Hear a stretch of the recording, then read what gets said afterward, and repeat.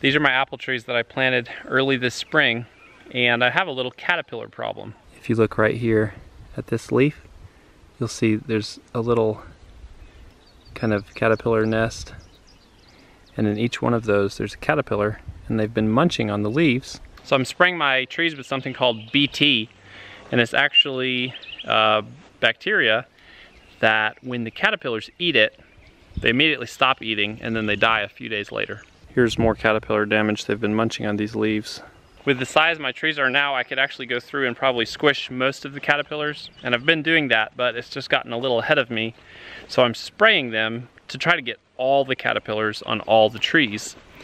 I've also included in this mix um, a little bit of fish emulsion um, for a foliar feeding. And plants can actually absorb nutrients through their leaves. You don't want to feed young apple trees too much late in the summer because you don't want to rush of growth before the winter. But this is just a tiny bit just to help them along and help them kind of get their vigor back.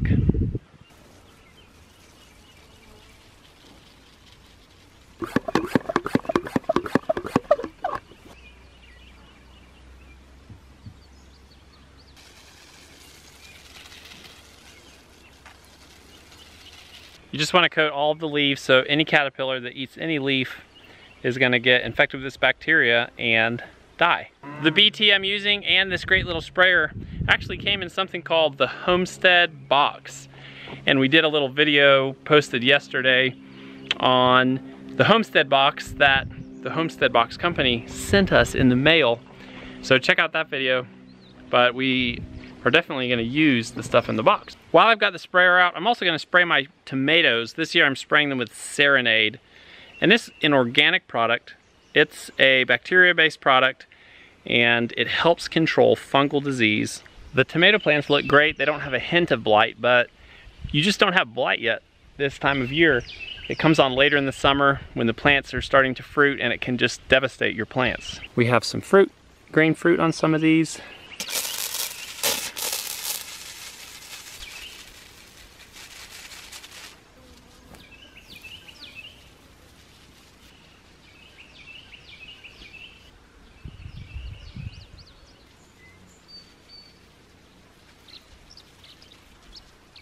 So why are we going to all the trouble to spray our tomatoes? Let me tell you, some years we've had such a problem with blight that the plants all die before we even get significant fruit that's ripened and ready to eat.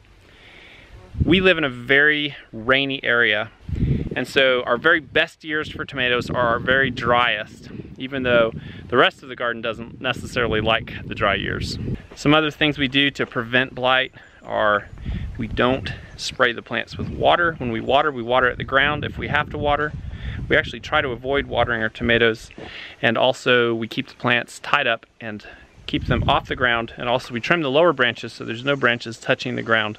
Right across the this driveway from our house there's this section of bushes here right next to the creek and I've been meaning to clear this out for a while so that the kids have a place to play down here by the creek where they don't have to worry about snakes as much. It's just all grown up. So I'm gonna work on clearing these bushes out and hauling them out to the woods.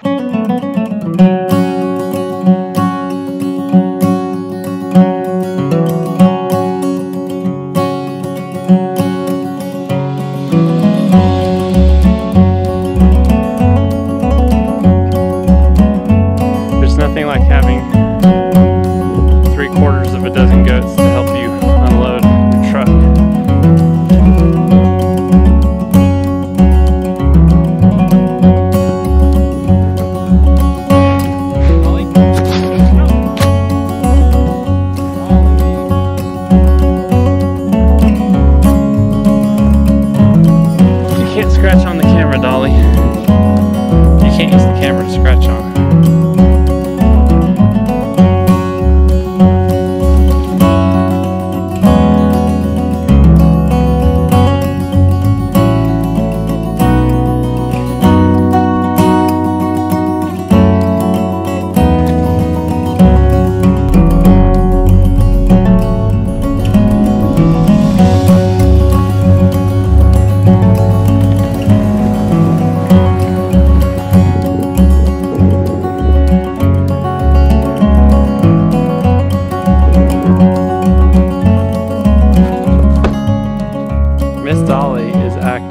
Today.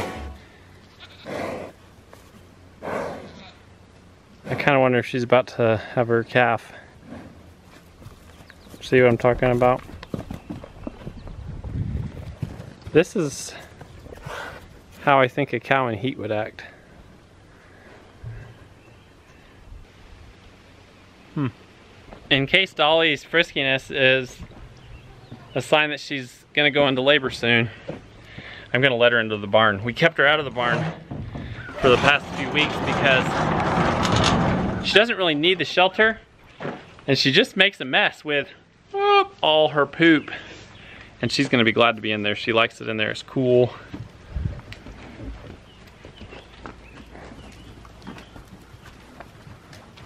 We're watching her every day for signs of labor and her, her udder is not very full, so it's probably not happening in the next day or two. But who knows what's going on. Something's changed in how she's feeling. So we're just gonna be watching her real closely.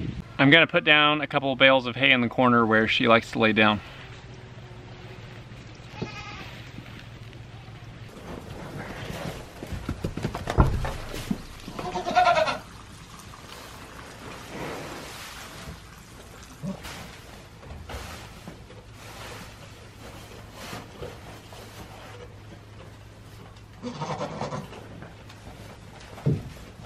That hay's really old.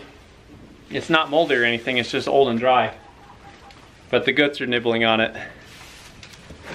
But I promise she'll be laying down there tonight. That's where she would lay down when we let her in the barn before. Who knows whether she'll have her calf in the barn or in the pasture. Either way, it's fine, but now she's got a nice spot in there. All right, this area looks way better.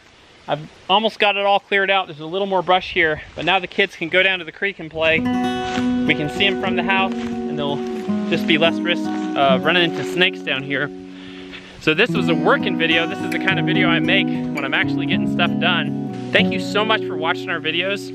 If you're one of those people who just loves our channel and is actually looking for a way to support us, go to Patreon and just check it out. Patreon's a place where you can donate a really small amount of money um, once a month. There's a bunch of people over there um, right now, and we actually have one video up over there. That's a cool video about creativity and the history of our homestead. Anyway, that was a great day on the homestead, and we'll see you tomorrow.